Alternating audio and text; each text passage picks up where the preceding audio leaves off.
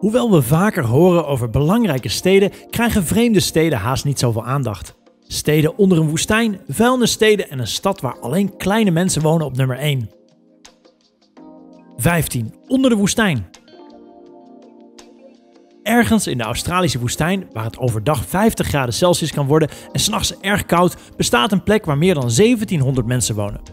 Dit is Coober Pedy, een ondergronds dorp met echte restaurants, een echte kerk en echte bars. Toen Jim Hutchinson en zijn zoon William, twee ontdekkingsreizigers naar Australië kwamen om goud te zoeken, deden ze een interessante ontdekking. Ze vonden opalen. Ze staakten dus het goud zoeken en gingen toen opalen mijnen. Omdat het niet uit te houden was in de woestijn, besloten ze een bewoonbare plek te bouwen onder de grond. De huizen in Coober Pedy zijn ongeveer 8 tot 22 meter onder de grond gesitueerd en hebben alles wat je normaal zou hebben in een huis. Sommige hebben zelfs een zwembad. 14. Een drijvende stad. Deze plek wordt Oil Rocks genoemd. Het staat in de Kaspische Zee, 120 kilometer verwijderd van Baku, Azerbeidzjan.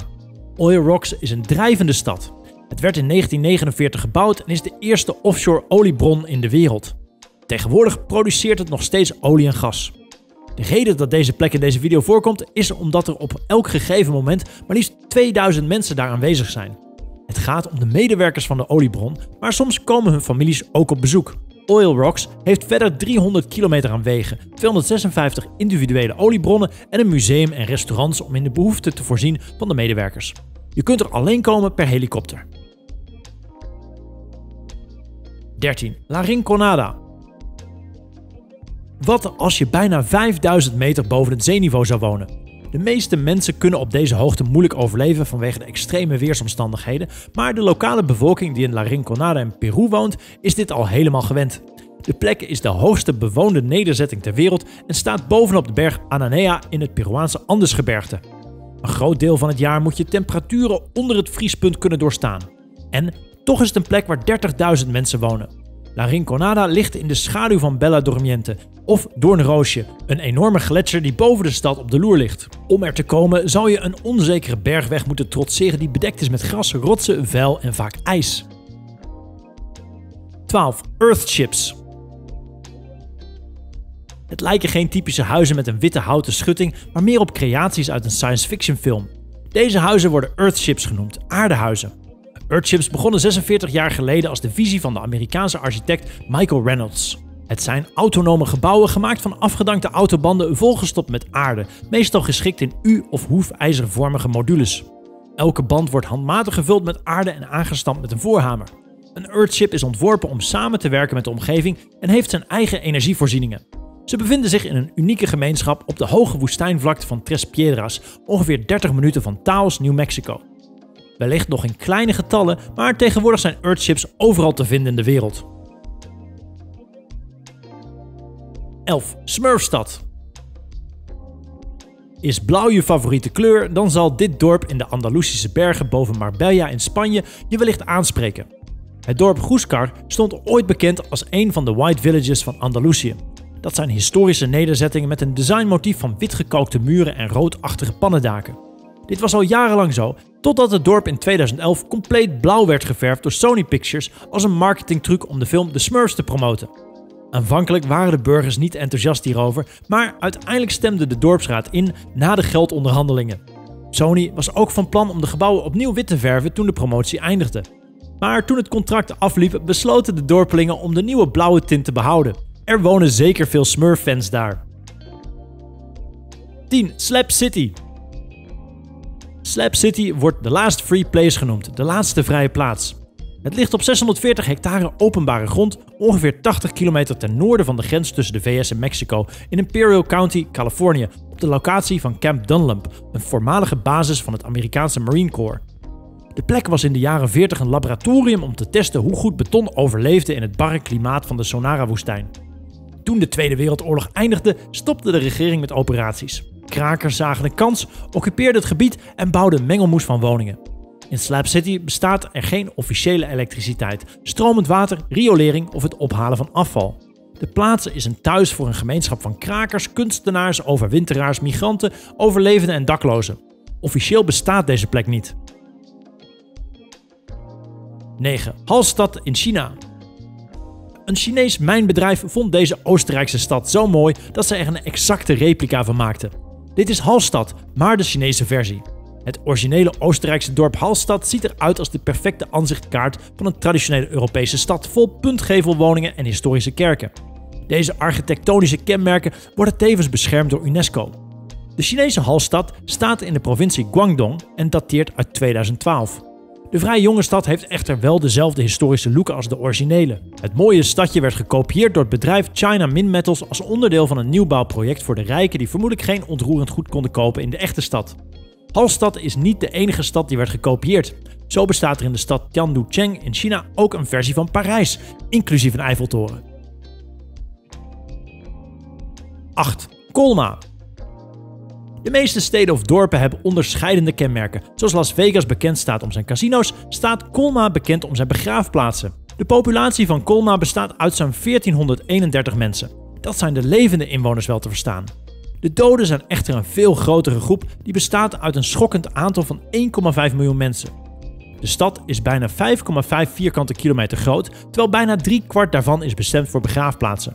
In Colma zijn er maar liefst 17 laatste rustplaatsen. Colma bestaat omdat de overledenen, zoals zoveel hedendaagse werkenden in San Francisco, het zich niet langer konden veroorloven om in de stad te wonen. San Francisco verbood begrafenissen in de stad in 1900 omdat de begraafplaatsen geen ruimte hadden. En vooral ook omdat ze op dure ontroerend goed zaten. De graven werden toen in 1912 verplaatst naar Colma. 7. Noiva de Cordeiro. Het is niet de geboorteplaats van Wonder Woman waar alleen maar Amazones wonen. Maar Noiva de Cordeiro komt wel heel dicht bij het fictieve concept van een vrouwengemeenschap. Noiva de Cordeiro is een klein stadje in Brazilië waar pakweg 600 vrouwen wonen. De meeste van hen zijn tussen de 20 en 35. Sommigen zijn getrouwd, maar hun echtgenoten wonen en werken ergens anders. Ook hun zonen worden vanaf hun 18e jaar uit de gemeenschap gestuurd en mogen net als de echtgenoten alleen in het weekend terugkeren. Het is een stad waar alles wordt bestuurd door vrouwen. Van het landbouwen tot aan stadsplanning wordt alles gerund door vrouwen van het stadje. De bewoners van Noiva de Cordeiro beweren dat hun woonplek hierdoor beter is. 6. Vuilnisstad. Aan de rand van de Mokattam Hills, in het uitgestrekte grootstedelijk gebied van Cairo, staat Manshiyat Nasser, ook wel Garbage City genoemd, vuilnisstad.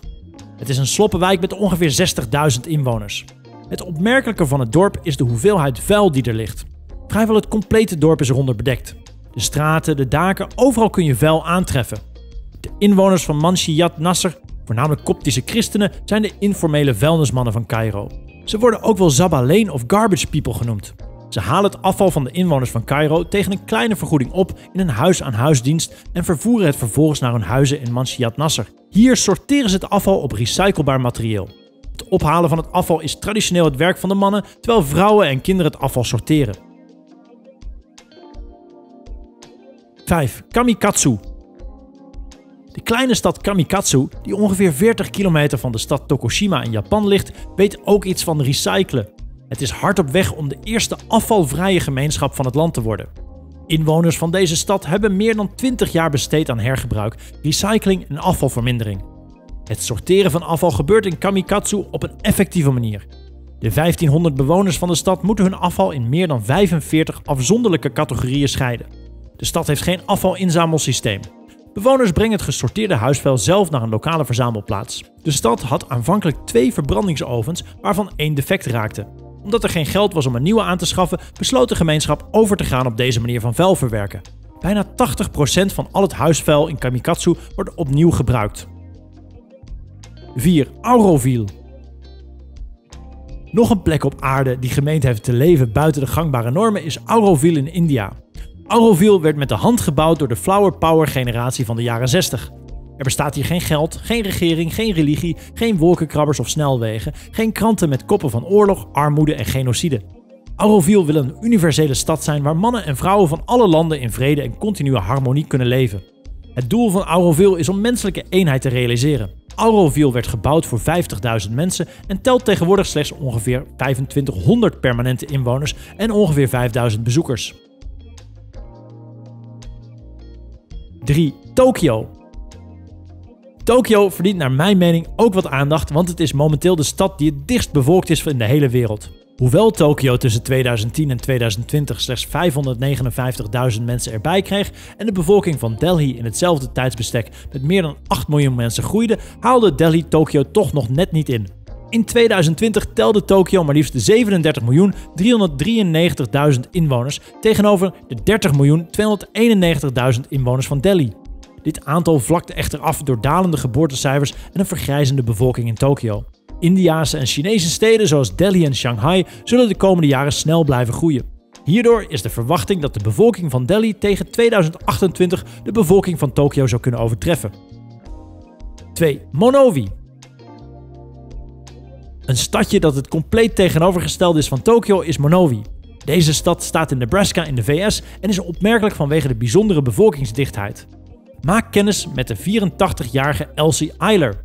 Ze betaalt zichzelf belasting, verleent haar eigen alcoholvergunning en is de enige overgebleven inwoner van Manowi. Eilers leven als enige inwoner van een spookstad is echt uniek. Elk jaar plaatst ze een bericht in Manowi's enige bedrijf, haar bar, waar ze reclame maakt voor burgemeestersverkiezingen en stemt dan voor zichzelf. Ze woont alleen in de verlaten stad, maar is niet eenzaam, want mensen van de nabijgelegen buurt komen haar elke dag een bezoekje brengen. 1. Dwergstad. Een echte dwergstad kom je tegen in de buurt van Kunming in China. Het is een themapark en wordt de Kingdom of the Little People genoemd, het koninkrijk van de kleine mensen. Hier wonen en werken mensen met dwerggroei. Aanhangers van het park beweren dat het werk biedt aan mensen die anders geen werk zouden kunnen vinden, maar het is bekritiseerd omdat de dwerggroei als een humoristische aandoening behandelt. In 2010 waren er meer dan 100 werknemers in de leeftijd van 19 tot 48 jaar. Het park vereist dat werknemers minder dan 130 centimeter lang zijn. De medewerkers wonen in nabijgelegen slaapzalen die speciaal zijn gebouwd om toegankelijk te zijn voor kleine mensen. Tijdens de opvoeringen doen de acteurs alsof ze in kleine paddenstoelvormige huizen wonen. In welke van deze steden zou je graag willen wonen? Laat het me weten in de comments. Bedankt voor het kijken en tot morgen bij de volgende top 10 video.